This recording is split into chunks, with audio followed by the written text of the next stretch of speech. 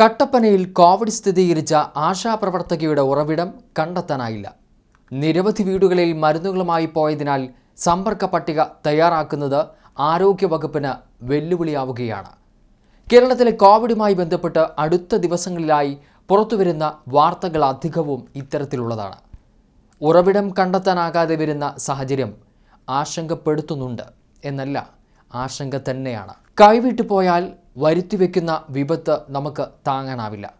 കരുതലും ജാഗ്രതയും ഒന്നും എവിടെയും കാണുന്നില്ല. എല്ലാം സാധാരണ സ്ഥിതിയിലേക്ക്. കോവിഡ് ഇല്ലാത്ത ഒരു സാധാരണ ജീവിതമാണെന്ന് തോന്നിപ്പോകുന്നു. ഉറവിടം വ്യക്തമല്ലാത്ത കോവിഡ് പോസിറ്റീവ് കേസുകൾ പെരുകുന്നത് വലിയ ആശങ്കയായി മാറുകയാണ്. രോഗം ബാധിച്ചവരുടെ റൂട്ട് മാപ്പ് വളരെ സൂക്ഷ്മമായി തയ്യാറാക്കി സമ്പർക്കത്തിലുള്ളവരെയെല്ലാം ക്വാറന്റീനിലാക്കാൻ സാധിച്ചതിനാലാണ് കോവിഡ് നിയന്ത്രണത്തിൽ കേരളം ലോകത്തിന് മാതൃകയായത്. എന്നാൽ ലോക്ക്ഡൗൺ ഇളവിനു ശേഷമുണ്ടായ അയവും ആലസ്യവും അന്തരീക്ഷത്തിൽ വീണ്ടും വലിയ ആശങ്ക തന്നെയാണ് പരത്തുന്നത്. ശാരീരികാകലം ബ്രേക്ക് ദ ചെയിൻ എന്നീ കോവിഡ് പെരുമാറ്റച്ചട്ടങ്ങളെ പരസ്യമായി പരിഹസിക്കുന്ന തരത്തിലാണ് എങ്ങും ആൾക്കൂട്ടങ്ങൾ. എണ്ണ വർധനവ് കാരണം കുറച്ച് ബസ്സുകൾ ഓടുന്നില്ല എന്ന് മാറ്റിയാൽ എല്ലാം സാധാരണ പോലെ എന്ന പ്രതീതിയാണ് എങ്ങും.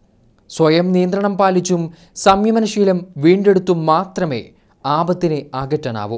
സംസ്ഥാനത്ത് ഒന്നര മാസത്തിനകം കോവിഡ് പോസിറ്റീവായ അമ്പതിലധികം പേർക്ക് രോഗബാധ എവിടെ നിന്നാണ് എന്നത് വ്യക്തമല്ല. അതിനാൽ സമ്പർക്കത്തിലുള്ളവരെ ആകെ നിരീക്ഷണത്തിലാക്കുകയും പരിശോധന നടത്തുകയുമാണ് സമൂഹ വ്യാപനത്തെ തടഞ്ഞു നിർത്തുന്നത്. നിരീക്ഷണത്തിലുള്ളവരുടെ സംഖ്യ ഒരു ലക്ഷത്തി നാൽപ്പതിനായിരത്തോളമായി വർദ്ധിച്ചത് ഇതുകൊണ്ടുകൂടിയാണ്.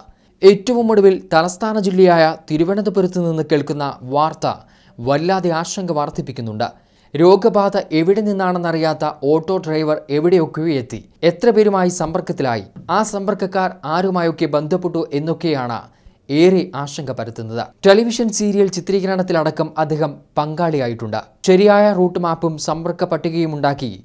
സമൂഹ വ്യാപനമുണ്ടാകില്ലെന്ന് ഉറപ്പുവരുത്താൻ ജില്ലാ ഭരണകൂടവും ആരോഗ്യവകുപ്പും പോലീസും നടപടിയെടുക്കും എന്ന് തന്നെ പ്രത്യാശിക്കാം. അതേസമയം ഇപ്പോൾ നിശ്ചയിച്ചത് പ്രകാരം എണ്ണൂറ്റി അൻപതോളം വിമാനങ്ങളാണ് വിദേശത്തു നിന്ന് വരാനുള്ളത്. മുംബൈ ഡൽഹി ചെന്നൈ അടക്കമുള്ള സ്ഥലങ്ങളിൽ നിന്നും ആളുകളെത്തും. ഇനിയുള്ള നാളുകൾ വളരെ ശ്രദ്ധാപൂർവം പ്രവർത്തിച്ചില്ലെങ്കിൽ കാര്യങ്ങൾ അവതാളത്തിലാവും. കോവിഡ് ആശുപത്രികൾക്ക് പുറമെ ഫസ്റ്റ് ലൈൻ ട്രീറ്റ്മെന്റ് സെന്ററുകൾ തുറന്ന് കൂടുതൽ ചികിത്സാ സൗകര്യങ്ങൾ ഒരുക്കുന്നതിന് നടപടി ആരംഭിച്ചതായാണ് വിവരം. കോവിഡ് വ്യാപനത്തിന്റെ ആദ്യഘട്ടത്തിൽ ഉണ്ടായതിനു സമാനമായ ജാഗ്രത വീണ്ടെടുത്തേ മതിയാകൂ.